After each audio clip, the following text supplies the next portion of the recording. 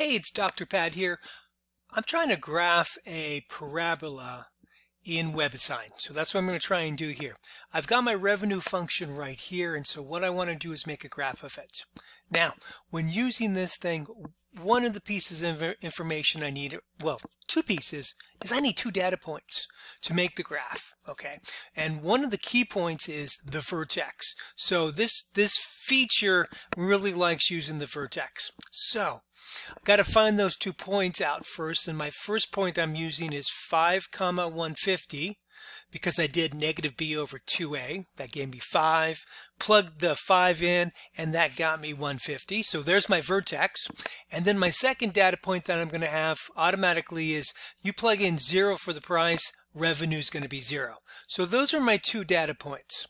All right, so when to make the graph, I'm going to come here and click on the uh, parabola the first thing it does, it's going to show me two options.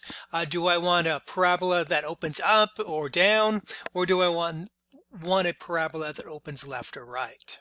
So those are my two options. So I, I want the parabola that opens up and down, so I have to click on it again, and now you see it's highlighted. So I'm going to pop over here now into the graph and actually try and plot my point 5 150. I go to the vertex first. Plot the vertex first and then plot your second point. In this case for me was 0, 0. Okay, and that's going to make my graph. But now the problem is, is like, oh, um, you know, I'm an old guy and, and I got this, you know, too much caffeine. And so it's really hard for me to, to make sure that I got the point I really want because right now I'm seeing it kind of labeled as 5 comma 155 and then I'd be like jiggling with this thing for a while and oh my gosh I get really frustrated you know because hey, I'm this old guy doing this stuff. So tricks of the trade is instead of me trying to figure out and get this perfectly with this thing with my mouse what I'm going to do is going to go over here to the right and this double arrow thing. I'm going to click on that, graph layers, and then you see this first thing right here. It's vertical parabola number one. So that's what it, I've only got one parabola, so that's why it's listed one.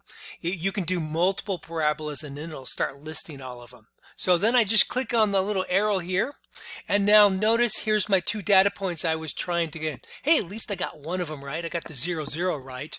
But the 5, 155 is off a little bit.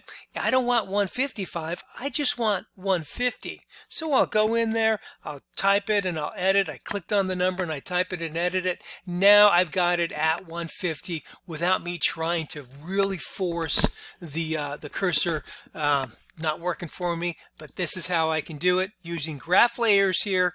I've got my vertical identify which of the parabolas, which graph I'm playing with, and then I can actually type in the points that I want. And so that's how I would be making my types of graphs without trying to get it perfectly on the graph. So hopefully this will reduce some frustrations for you. Take care and have a good one.